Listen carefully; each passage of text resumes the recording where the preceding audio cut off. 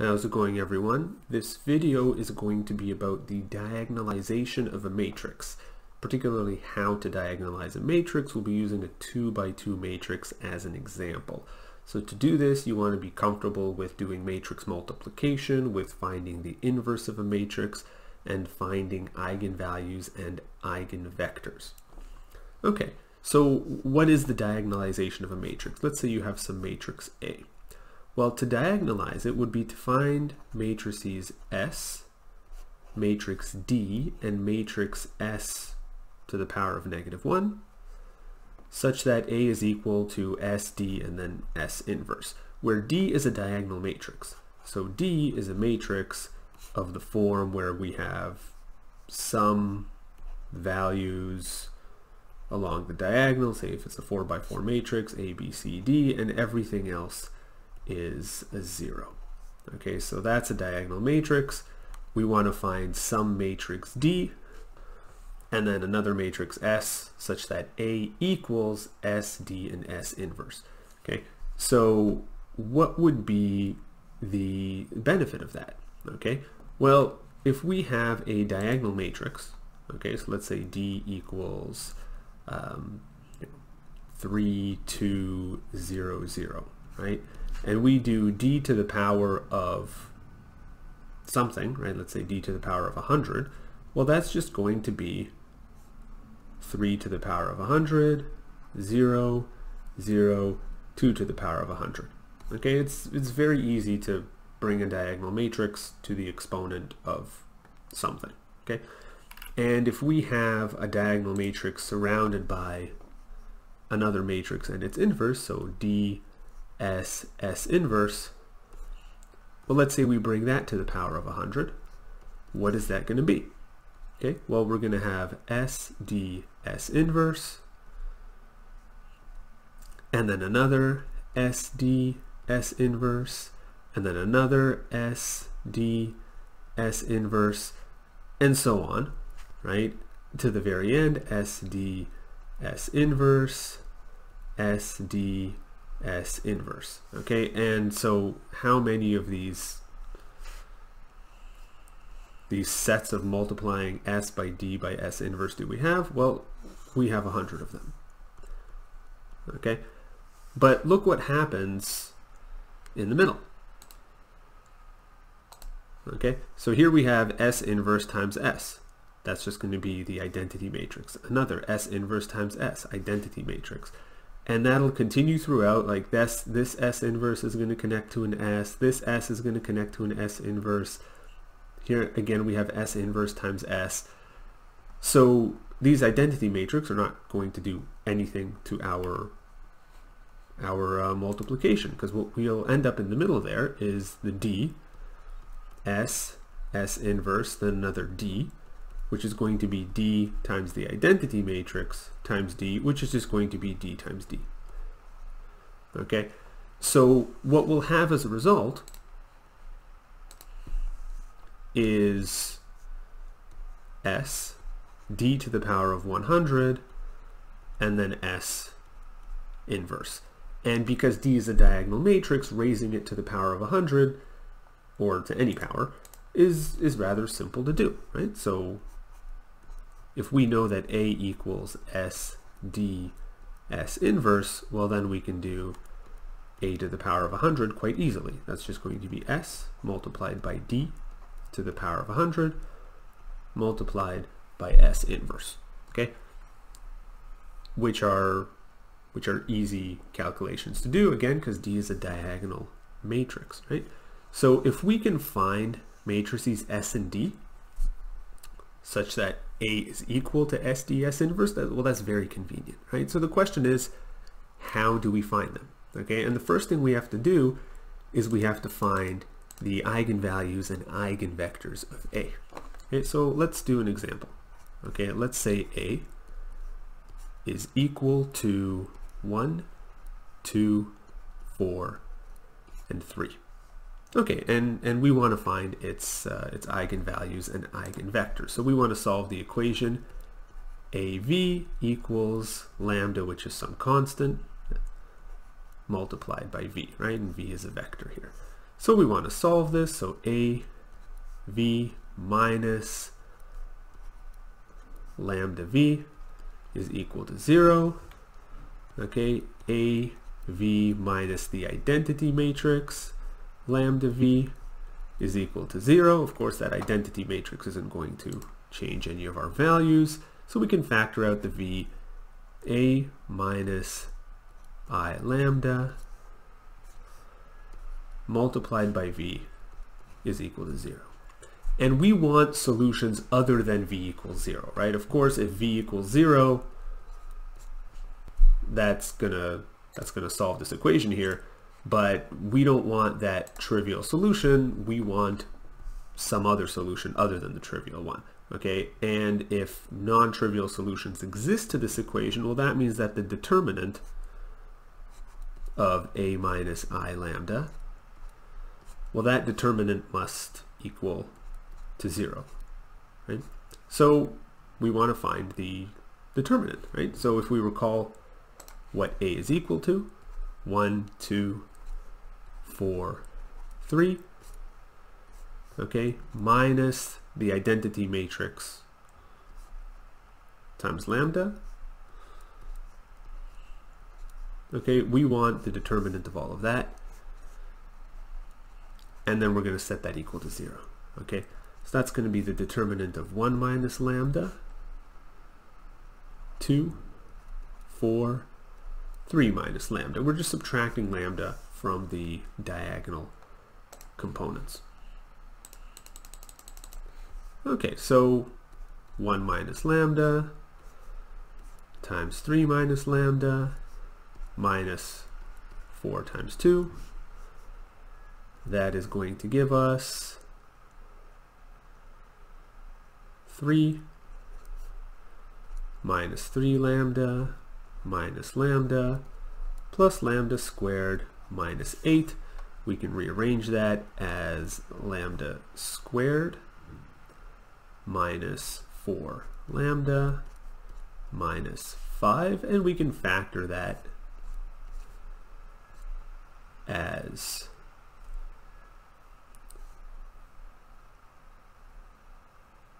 uh, lambda minus 5 and lambda plus 1. Okay, so that's two numbers that multiply to negative 5 and add up to negative 4, right? Negative 5 and plus 1.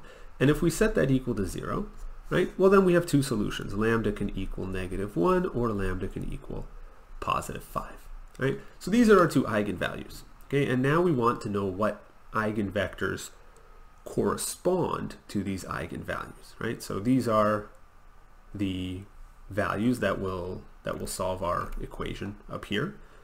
AV equals lambda V, right? And we want to know what vectors correspond to those values for lambda, right? So we're just going to plug in lambda into this equation here and solve it, right? So let's start with lambda equals negative 1, right? All right, so we have 1 minus lambda 2, 4, 3 minus lambda. That equals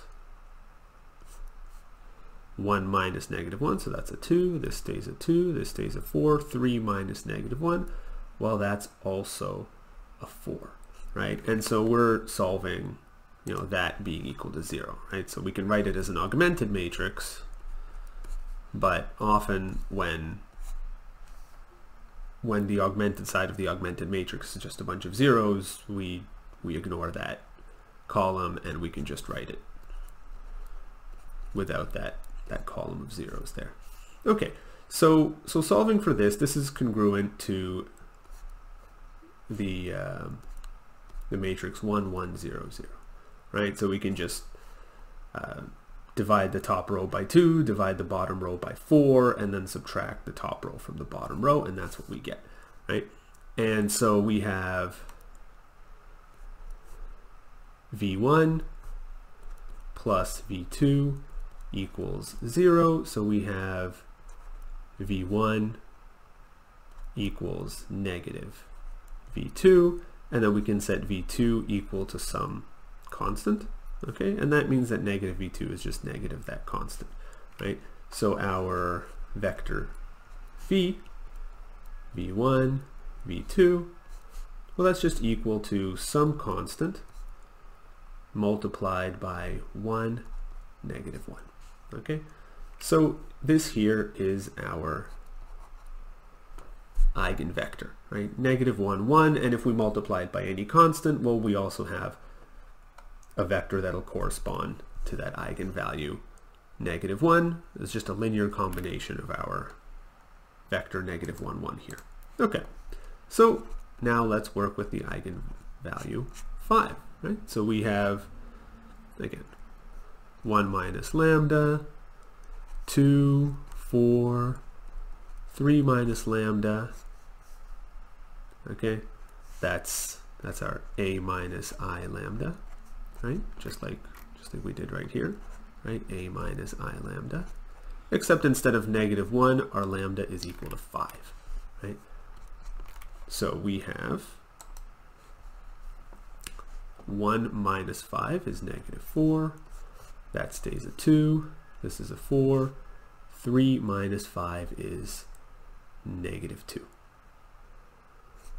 Okay, so this matrix here, okay, we can add the, uh, the top row to the bottom row, so we have negative 4, 2, 0, 0, and then we can divide that top row by 2, so we have negative 2, 1, 0, 0. And so what we get here is negative 2v1 plus v2 equals 0. Right? So rearranging that, negative 2v1 equals negative v2.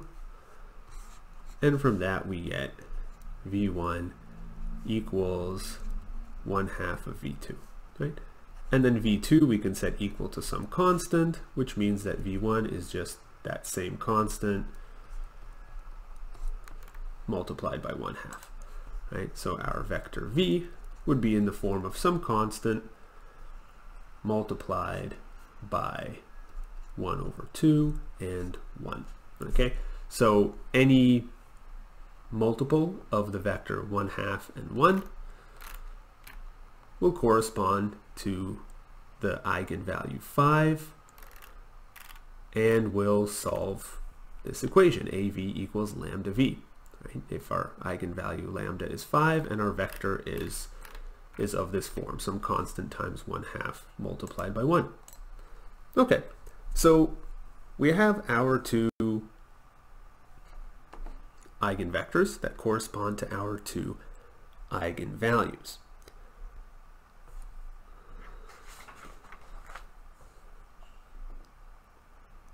And so we can create our matrix S, right, which is going to be equal to the two vectors side by side, right? So our first eigenvector was negative 1, 1, and our other eigenvector was 1 half and 1. All right? Our vector D, or sorry, our matrix D, is going to be the corresponding eigenvalues, right? So the first eigenvector we used, oops, corresponded to the eigenvalue negative 1. And the second column in S, the second eigenvector we used, corresponded to the eigenvalue 5. So that's our diagonal matrix right there. Okay, so we have S, we have D, and we can claim that A equals S, D, S inverse. Okay, and we'll check that. Okay, always good to, to check the answer and it, it looks nice and elegant as well. Okay, so we recall that A equals 1, 2, 4, and 3. Okay, and SDS will equal oh, or SDS inverse, right, will equal negative 1, 1 over 2, 1, 1, multiplied by negative 1005 multiplied by S inverse. So of course we have to find S inverse. Okay, so let's do that. Right? So different ways you can find the inverse of a matrix. One way of doing that is creating an augmented matrix where the other side is the identity matrix and bringing that to bringing the left side to reduced row echelon form. Okay, so let's uh, let's multiply the top row by negative 1. Right, so we have 1, negative 1 over 2, 1, 1, negative 1, 0, 0, 1. Okay, now let's subtract the top row from the bottom row. So this part stays the same. So here we have 0. 1 minus negative a half, it's actually 3 halves. Okay, 0 minus negative 1, it's going to be a 1. 1 minus 0 is a 1. Okay, now let's multiply the bottom row by 2 over 3 okay, to get a 1 where we want it. So on top we, we have the same thing. On the bottom, this will stay a 0, this will become a 1, and then we have 2 over 3, 2 over 3. Okay? Next step is let's do row 1 plus half of row 2 right, to get a zero in the top right corner, right? So this will remain a 1, this then becomes a 0. Our bottom row stays the same. Oh, that's a, yeah. 1, 2 over 3, 2 over 3. Our negative 1, we have negative 1 plus 1 over 3. And here we have 0 plus half of 2 over 3, so we just have 1 over 3. Okay, and so we've gotten the left side to look like the identity matrix, so the right side now, that is our inverse, right? So S inverse is equal to okay, uh, negative 3 thirds, that's negative 1, negative 3 thirds plus 1 third is negative 2 thirds one third, two thirds, and two thirds, right? So now we have S inverse. Okay. So S D S inverse is equal to.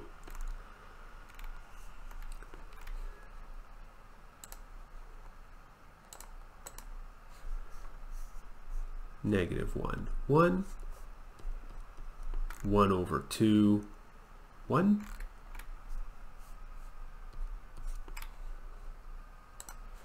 multiplied by d, negative 1 and 5, multiplied by s inverse, negative 2 over 3, 1 over 3, 2 over 3, 2 over 3. Okay, and just to show that this does in fact equal a, we will do that calculation. So equals.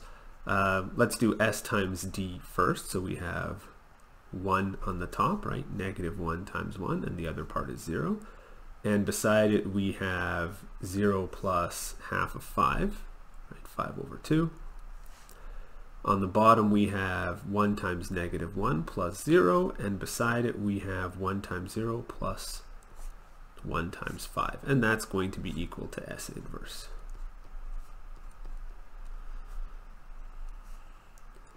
2 over 3, 2 over 3.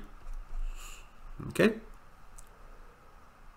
And then we have the next part.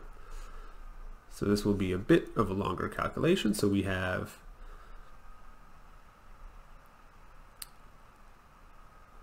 in the first section here, we have negative 2 over 3 plus 5 over 3.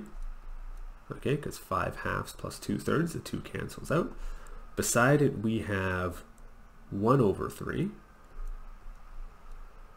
plus 5 over 3, right? 5 halves times 2 thirds, the 2's cancel out. Underneath, we have negative 1 times negative 2 over 3, so we have 2 over 3, plus 5 times 2 thirds. And beside it, we have a negative 1 over 3 multiplied by, or plus 5 multiplied by 2 thirds. So simplifying that, we have, okay, 5 thirds minus 2 thirds is 3 thirds. Uh, 1 third plus 5 thirds is 6 thirds. 2 thirds, this is 5 times 2, so it's 10 thirds. 2 thirds plus 10 thirds is 12 thirds. And again, 5 times 2 is 10. 10 thirds minus 1 third is 9 thirds. And so very elegantly, we have 1, 2, 4, and 3, which of course is equal to A. Right? If you recall, A is 1, 2, 4, and 3. So we checked, we did actually find the correct diagonalization. Okay, and so now, well, things become much easier when we say have to calculate a to the power of 100. Okay, what's that equal to? Well, a to the power of 100 is going to be s times d to the power of 100 multiplied by s inverse, okay, as shown above, okay? Many s's and s inverses will just multiply to the identity matrix, and so we don't have to raise them to any exponent. Okay? So we can calculate this. Our s was negative 1, 1, 1 over 2, 1. Our d was negative 1, 5 along the diagonal. That's being raised to the power of 100. And our s inverse was negative 2 thirds, 1 third, and then positive 2 thirds in the bottom.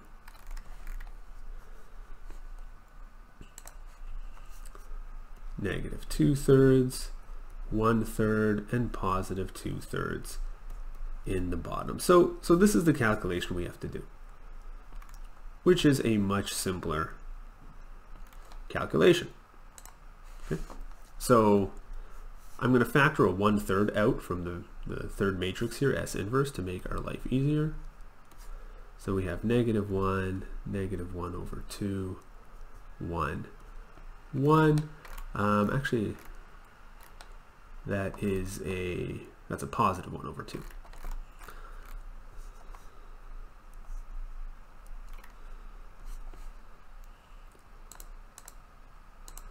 Okay, raising the diagonal, matrix to an exponent. Well, we just have negative 1 to the exponent 100. 0 stays 0 here, and we have 5 to the exponent 100. And then we have, we factored out the 1 third, so it's just negative 2, 1, 2, and 2.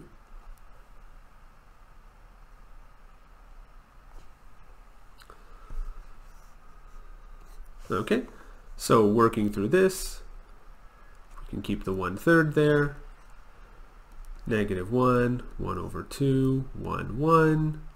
Negative 1 to the power of 100 would be a positive 1 because 100 is a even exponent. 5 to the power of 100, we'll just keep it like that to make life easier. Okay, so for the first two matrices, okay, we have negative 1 times 1 plus 0, so that's negative 1. And beside it we have 0 plus 1 half of 5 to the power of 100. On the bottom we have 1 times 1 plus 0. And then we have 0 plus 5 to the power of 100. And that is multiplied by negative 2, 1, 2, 2. Okay? Continuing on, we now have negative 1 times negative 2, which is 2, plus, and we have 5 over 100 divided, uh, 5 to the power of 100 divided by 2 times 2, so that's just going to be 5 to the power of 100. Beside it, we have negative 1 times 1, so negative 1, and then plus, again, 5 to the power of 100 over 2 times 2.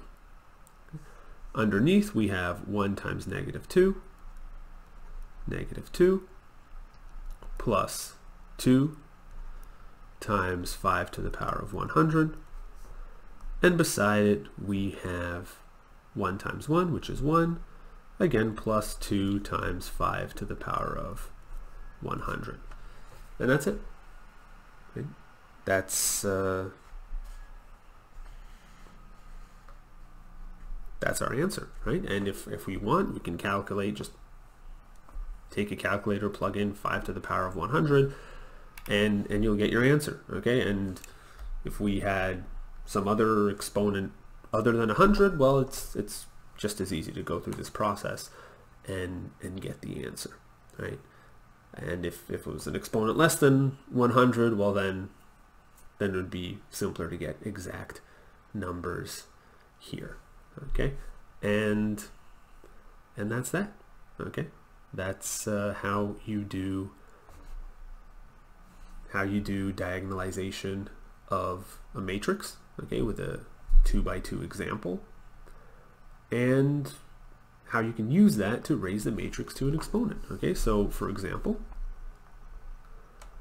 okay, let's say we had a to the power of 4 instead, well then we would end up with 1 over 3 and then it would be 2 plus 5 to the power of 4, negative 1 plus 5 to the power of 4, negative 2 plus 2 times 5 to the power of 4, and then 1 plus 2 times 5 to the power of 4, right? And 4 is also an even exponent, so that negative 1 above raised to that power still gives us a positive 1 on top of our diagonal matrix. Okay, that positive one right here.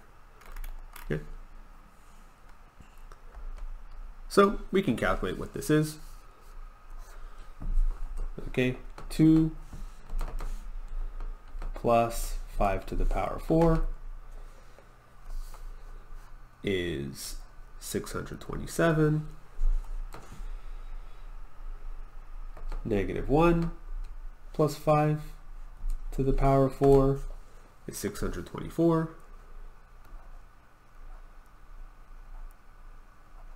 Right, just 3 less than that. Okay. Negative 2 times 2, uh, sorry, negative 2 plus 2 times 5 to the power of 4 is 1,248 and 1 plus 2 times 5 to the power of 4 is 1,251. Okay. And if we divide all of those by 3, we have 627 divided by 3 is 209. 624 divided by 3 is 208, just one less than that. 1248 divided by 3 is 416. And 1251 divided by 3 is 417. Okay, and that's it. That's a to the power of 4, right? And that was much easier than if we had to do 1, 2, 4, 3 times 1, 2, 4, 3 times 1, 2, 4, 3 times 1, 2, 4, 3. That would be a long matrix multiplication. Something like this is much faster. So, I hope you'll find that useful and I'll see you next time. Bye bye.